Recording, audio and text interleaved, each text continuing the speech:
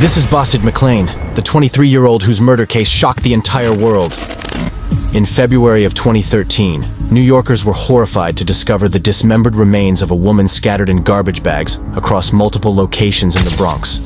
The first set of remains were discovered by a dog walker, whose dog was attracted to the scent of meat emanating from one of the bags. When the dog's owner went to investigate, he came across the dismembered remains and immediately called police. The dismembered body would be identified as 45-year-old Tanya Byrd, a home health aide. She had been dismembered and then stuffed inside heavy-duty garbage bags, which had then been stuffed inside duffel bags and dumped in a number of locations in the Bronx. One contained an arm and a leg, another contained a portion of torso and shoulders while the final contained a head. Her autopsy would conclude that she had been stabbed in the neck. Police immediately started investigation and found out the victim was brutally murdered by her own son. According to the criminal complaint, Bahsid had stabbed his mother to death and then cut up her body with the assistance of another man.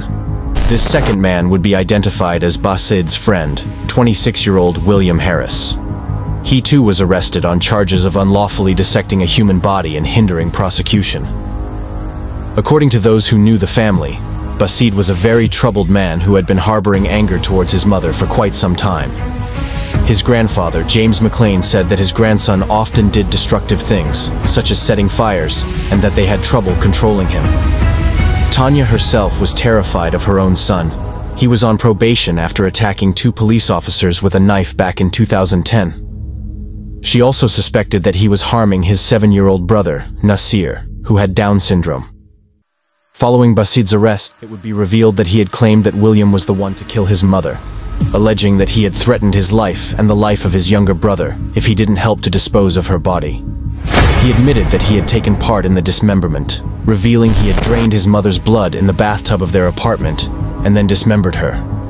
However, William would state to police that Bahsid had shown him photographs on his mobile phone of Tanya's body.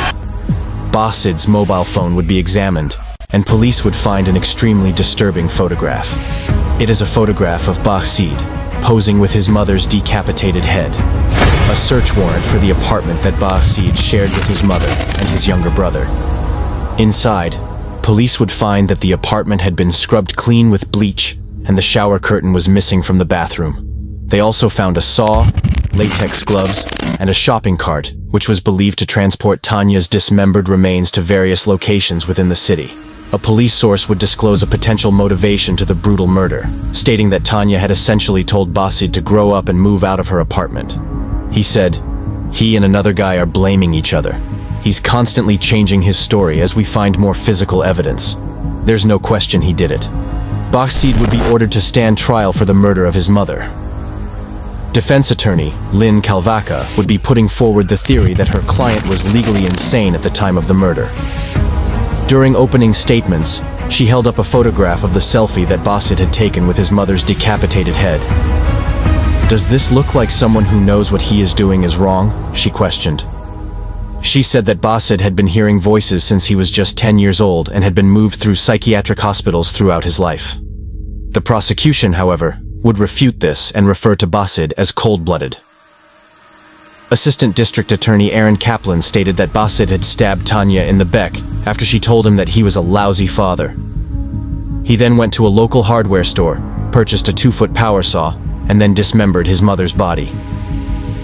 Bahsid and Tanya's family supported the prosecution, with Tanya's sister stating, If he could do that to his own mother, imagine what he could do to a stranger. I don't hate him. I pity him. On the first day of trial, the prosecution would present four witnesses. The first to testify would be James Daniels, who had stumbled across part of Tanya's body as he was walking his dog. He told the courtroom he had been walking along Eagle Ave and E158th Saint when his dog started barking and pulling him towards a suitcase that was on the sidewalk. Curious, he opened the suitcase up and found a portion of Tanya's body. He ran around the corner and immediately called 911.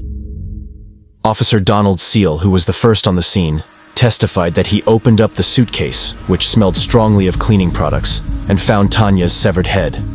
Later that morning, Officer Seal was one of the officers to respond to Bahsid's missing person report. He had called police to report his mother missing.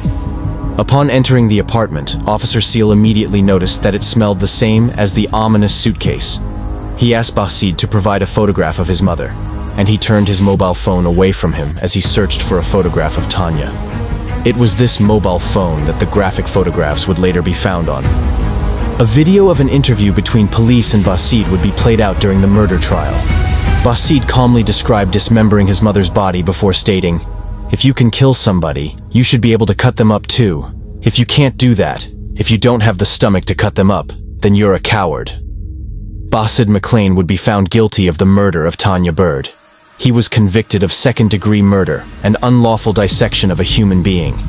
He was sentenced to 25 years to life in prison.